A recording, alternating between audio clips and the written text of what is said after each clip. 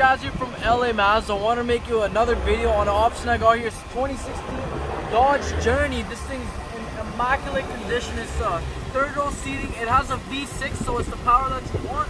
Now come over here, you get the nice alloy rims, nice tires for the winter driving.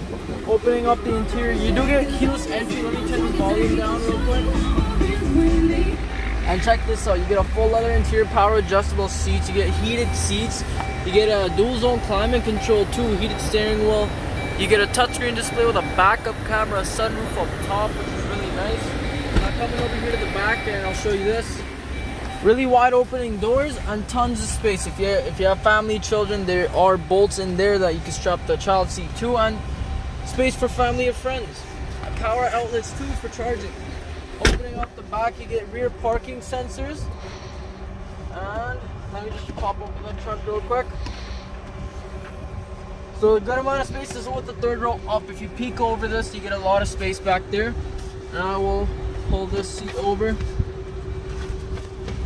Just because the front seats are down, but besides that, these lay down flat, even the second row lays down flat.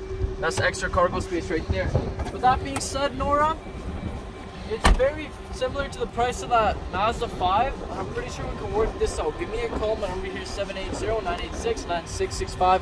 Look forward to speaking with you, and have a wonderful day. Bye.